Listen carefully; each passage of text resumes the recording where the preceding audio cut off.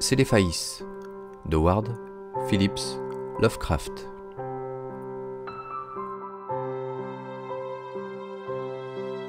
En rêve, Kouranès vit la cité au fond de la vallée, avec la côte qui s'étendait au-delà, le pic neigeux qui dominait la mer et les galères aux couleurs chatoyantes qui sortaient du port pour voguer vers ces lointaines régions où la mer rencontre le ciel.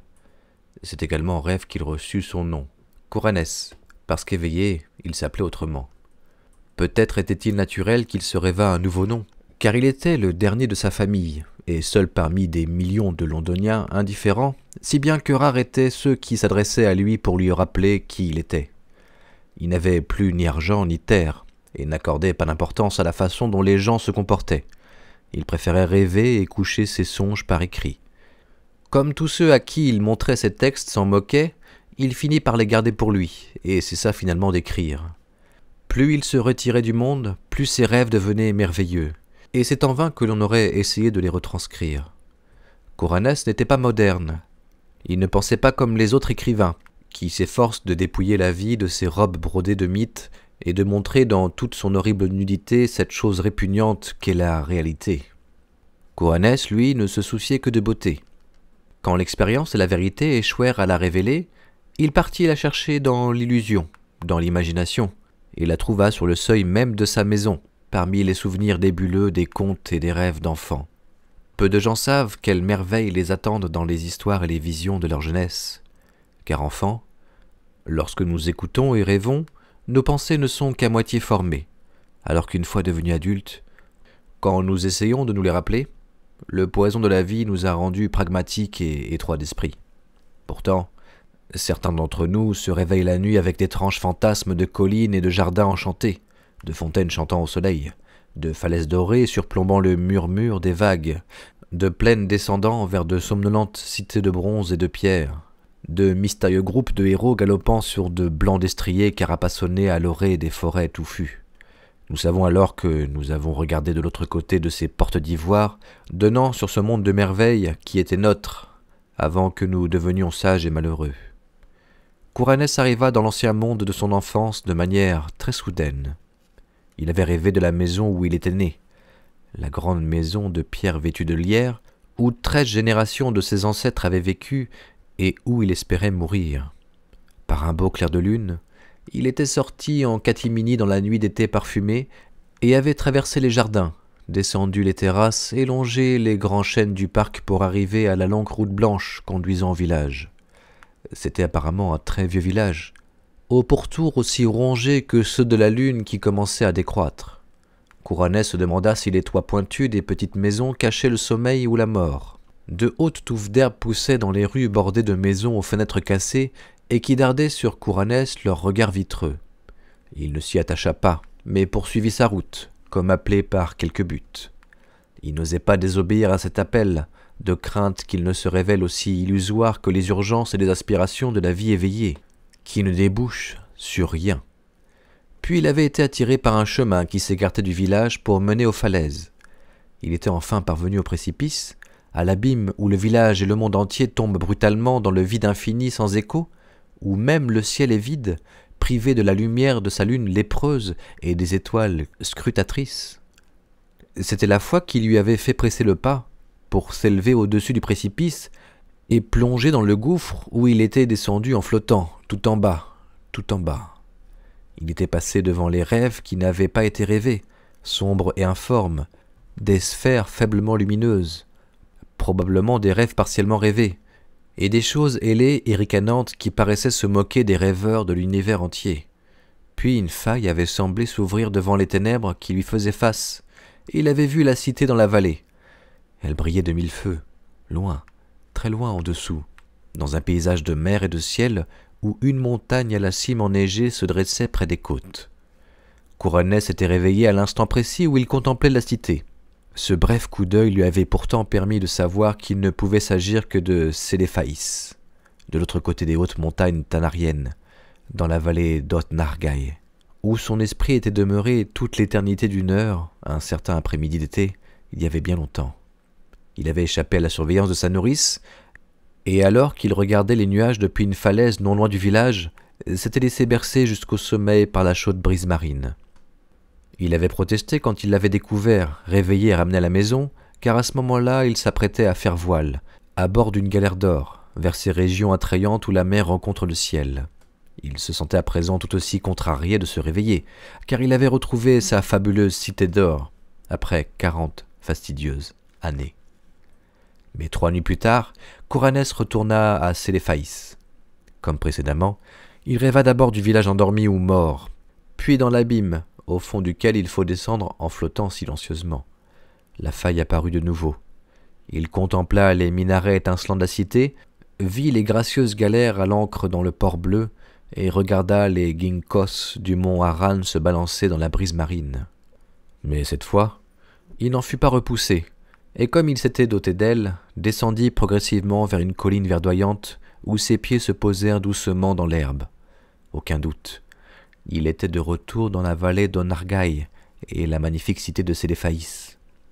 Coranès marcha en bas de la colline, parmi des herbes odorantes et des fleurs colorées, franchit le torrentueux Naraxa, sur le petit pont de bois où il avait gravé son nom bien des années auparavant, puis traversa le bosquet murmurant jusqu'au grand pont de pierre à l'entrée de la cité.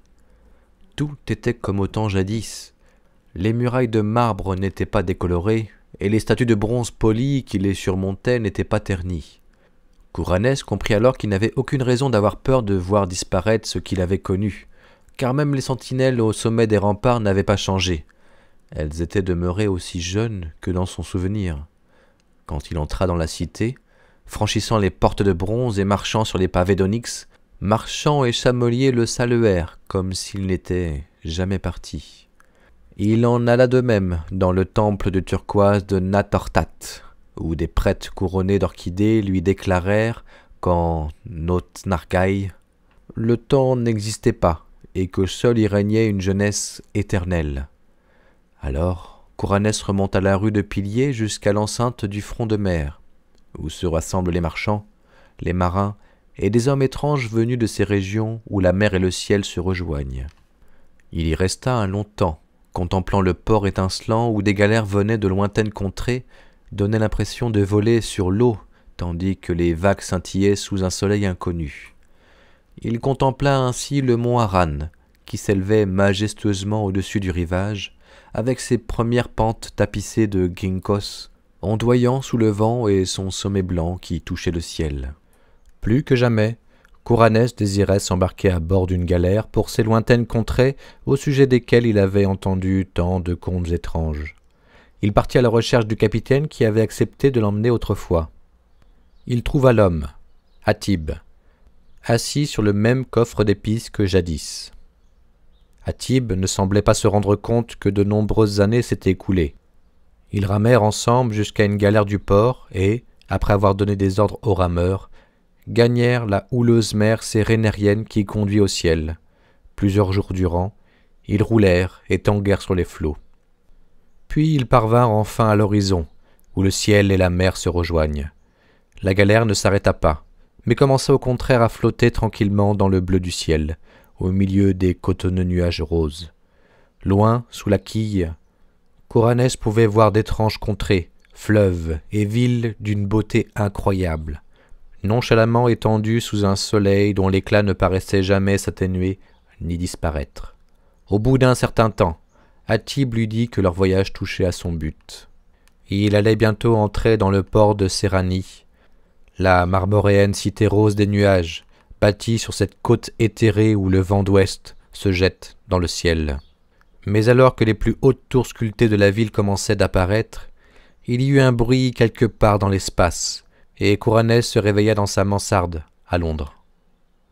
Au cours des longs mois qui suivirent, Kouranès chercha en vain la merveilleuse cité de Séléphaïs, et ses galères qui voguaient vers le ciel.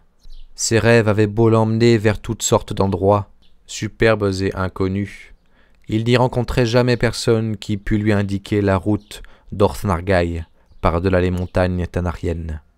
Une nuit, il survola de sombres montagnes émaillées, de loin en loin, par la lueur falote des feux de camp isolés, et où se voyaient d'étranges troupeaux de bêtes à longs poils, dont les chefs portaient des clochettes tintinabulantes. Dans la partie la plus sauvage de ce pays montagneux, si éloigné de tout que très peu d'hommes avaient dû la voir, il découvrit une muraille affreusement ancienne, une sorte de chaussée de pierres zigzagant sur les crêtes et au fond des vallées. Cet édifice, trop gigantesque pour que des mains humaines aient pu l'élever, était si long qu'on ne pouvait en voir aucune extrémité. De l'autre côté de cette muraille, dans l'aube grise, il arriva dans un pays d'étranges jardins et de cerisiers.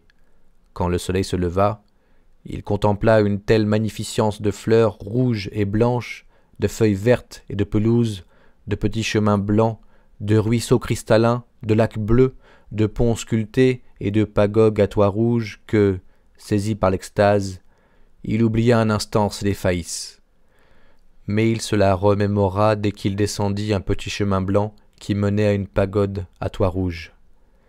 Il aurait bien demandé aux habitants de cette contrée la route de ces défaillisses. Mais il s'était rendu compte qu'il n'y avait personne en ce lieu, seulement des oiseaux, des abeilles et des papillons. Une autre nuit, Couranès gravit un escalier de pierre humide qui montait en colimaçon. Au bout d'une éternité, il arriva à la fenêtre d'une tour qui dominait une plaine immense, où coulait un fleuve éclairé par la lune. Dans la ville silencieuse qui s'étendait de part et d'autre du fleuve, il crut reconnaître quelques détails ou éléments topographiques qu'il avait vus auparavant. Il était sur le point de descendre, s'enquérir du chemin d'Othnargai, lorsqu'une aurore effrayante surgit à l'horizon pour dévoiler les ruines et l'extrême ancienneté de la cité les eaux mortes du fleuve infesté de roseaux, et la mort qui s'était abattue sur cette contrée depuis que le roi Kinaratolis, de retour de ses conquêtes, était rentré chez lui pour y subir la vengeance des dieux. C'est ainsi que Kouranès chercha en vain la merveilleuse de ses défaillisses et ses galères qui faisaient voile dans le ciel jusqu'à Séranie. Ce qui ne l'empêcha pas de voir moult merveilles et même, une fois, d'échapper de justesse à l'archiprêtre qu'il ne faut pas décrire, dont le visage est dissimulé par un masque de soie jaune, et qui vit seul dans un monastère de pierre préhistorique sur le froid plateau désertique de Leng. Au fil du temps, Kouranès trouva tellement insupportable les tristes intervalles de jour qu'il se mit à acheter des drogues pour accroître ses périodes de sommeil. Le hashish l'aida énormément, et l'envoya même une fois dans un coin de l'espace où la forme n'existait pas et où des gaz bruyants étudiaient les plus profonds secrets de l'existence. Là, un gaz de couleur violette lui dit que cette partie de l'espace s'étendait au dehors de ce que Kouranès appelait l'infini. Jusqu'à présent, le gaz n'avait jamais entendu parler de planète ni d'organisme, mais reconnu en Kouranès l'une de ces créatures appartenant à cette sorte d'infinité où la matière, l'énergie et la gravité existent. Couranès était maintenant si impatient de revenir à sa cédéphaïs piquetée de minarets qu'il augmenta sa dose de drogue, jusqu'à ce que, se trouvant sans le sou, il ne put plus s'en acheter. Alors, un jour d'été, il fut expulsé de sa mansarde et se mit à errer dans les rues, sans but précis. Après avoir franchi un pont, il arriva dans un endroit où les maisons se faisaient de plus en plus rares. Est-ce là que tout s'accomplit? Là qu'il croisa la route du cortège des chevaliers venus de Sédéphaïs pour l'y ramener à tout jamais? C'étaient de magnifiques chevaliers, montés sur des cheveux rouants, revêtus d'armures étincelantes et portant des tabards de fil d'or décorés de curieux blasons. Ils étaient si nombreux que Kouranès les prit pour une armée. Mais ils avaient été envoyés en son honneur, puisque c'est lui qui, dans ses rêves, avait créé l'Orthnargaï, ce qui lui valait d'être maintenant nommé jusqu'à la fin des temps, le Seigneur est Dieu. Ils lui donnèrent un cheval et le placèrent à la tête de la cavalcade. Puis tous galopèrent majestueusement dans les plaines du Sureil, jusqu'à la région où Kouranès et ses ancêtres étaient nés. C'était très étrange, mais on aurait dit qu'au fur et à mesure de la chevauchée, les cavaliers remontaient dans le temps. Chaque fois qu'ils traversaient un paysage, au crépuscule, il ne voyait que ces sortes de maisons et de villageois que des gens comme Chaucer et ses aïeux avaient pu connaître. Il leur arriva même de croiser des chevaliers accompagnés de leur suite. À la tombée de la nuit, ils voyageaient si rapidement qu'ils paraissaient voler mystérieusement, comme dans les airs. Une aube pâle se levait quand ils atteignirent un village que Kouranès avait vu vivant dans son enfance et endormi ou mort dans ses rêves. Il était à présent plein de vie. Des villageois matinaux leur firent la révérence lorsqu'ils traversèrent ces rues à grand fracas avant de disparaître sur la route menant à l'abîme des rêves. Kouranès n'avait plongé dans cet abîme que la nuit, et il se demandait à quoi il ressemblait le jour. Aussi regarda-t-il anxieusement la colonne s'approcher du bord. Alors qu'il remontait au galop la pente qui conduisait au précipice, une lueur dorée s'éleva quelque part à l'ouest et jeta sur le paysage un voile de rayons éclatants. L'abîme était un bouillonnant chaos de splendeurs rosées et céruléennes, et des voix invisibles chantèrent avec allégresse lorsque le cortège de chevaliers plongea par-dessus bord et descendit gracieusement, flottant devant des nuages étincelants et des lueurs argentées. Les cavaliers descendirent doucement, pendant une éternité, leurs montures galopant sur les terres comme sur des sables dorés. Puis les vapeurs scintillantes s'ouvrirent pour révéler une plus grande lumière, la lumière de la cité de Céléphaïs, avec la côte, avec la côte qui s'étendait au-delà, le pic neigeux qui dominait la mer et les galères aux couleurs chatoyantes qui sortaient du port pour s'en aller vers ces lointaines régions où la mer rencontre le ciel. Alors, Kouranès régna sur Lot Nargaï, et à toutes les régions des rêves avoisinantes, tenant sa cour alternativement à Séléphaïs et à Séranie paré de nuages. Il y règne encore, et y régnera éternellement dans la joie, même si au pied des falaises d'Innsmouth, le ressac joue cruellement avec le corps d'un clochard qui, à l'aube, a traversé d'un pas traînant le village à moitié désert, joue cruellement avec ce corps qu'il envoie sur les rochers dominés par les Trevor Towers. Ces tours couvertes de lierre, où un brasseur riche à millions, dont la corpulence n'a d'égal que son caractère déplaisant, pousse des soupirs d'aise au sein des murs qu'il s'est achetés, ceux d'une noble famille à présent disparue.